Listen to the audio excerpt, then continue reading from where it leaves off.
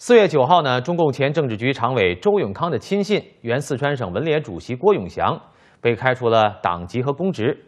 郭永祥之子呢，也被媒体踢爆和周永康的儿子周斌有生意合作。而就在同一天，中共前总书记胡锦涛突然的现身湖南。对此，有分析人士指出，中共领导人习近平的打虎行动让中共前党魁江泽民是非常的不安。那么，中南海内斗激烈，而胡锦涛的露面呢，表达了对习近平的支持。郭永祥去年六月因涉嫌严重违纪被调查。中共中纪委网站九号发布消息说，郭永祥利用职务上的便利为他人谋取利益，收受巨额贿赂、收受礼金，利用职务上的便利为他儿子经营活动谋取利益，以及道德败坏等。公告说，郭永祥的行为已经构成严重违纪违法，决定给予郭永祥开除党籍、公职处分，并移送司法部门处理。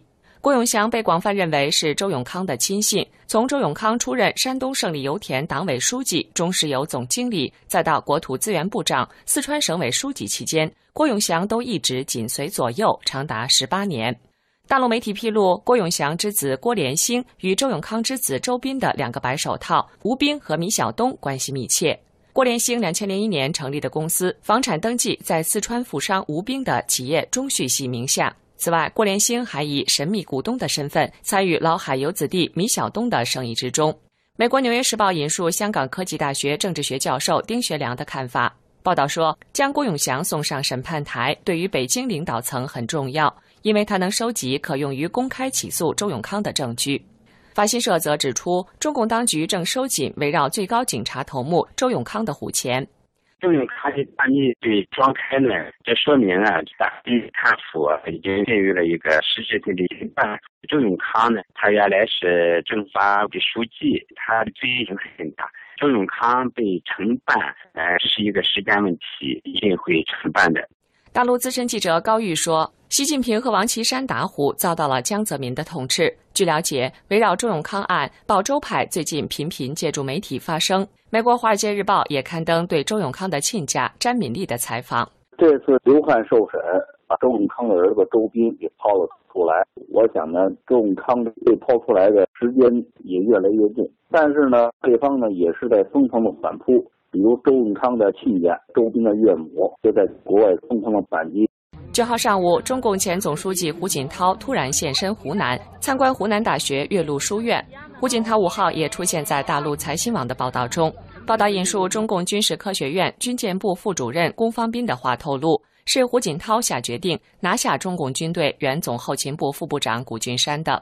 短短五天，胡锦涛两次露面。胡锦涛呢，在印象的时候啊，受江派的打压，哎，江派的排挤，甚至被江派暗杀，他一直是很不得志的，因为江派处处打击他。当然，打他的一个重要的人物是包永康了，打击江派的事业，胡锦涛当然是支持。呃，他去到湖南，我相信呢，也是对对打击江派的支持。据美国大纪元新闻网报道，江泽民集团担心习近平碰触法轮功问题，并公布周永康的反人类罪，或言自身，正策划另类政变，如广东茂名血腥镇压，试图把习近平赶下台。九号上午，习近平视察位于北京市郊的武警特种警察学院，并为猎鹰突击队授旗。中共内部的争斗也是非常激烈。从这两天，习近平。对武警特种学院为猎鹰突击队授旗，再到湖锦涛现身于这湖南岳麓书院，都说明一个问题，那就是他们能掌控的局势，的人掀起来大浪。周永康的事件被抛出来之后，中国不会乱，广州的势力不会得逞。时事评论员周晓辉在博文中表示，将周永康软禁的决定获得中共中央委员会委员近百分之一百的支持率。而周之所以千呼万唤不出来，主要在于如何定周的罪，而周如何定罪，将直接决定曾庆红、江泽民的命运。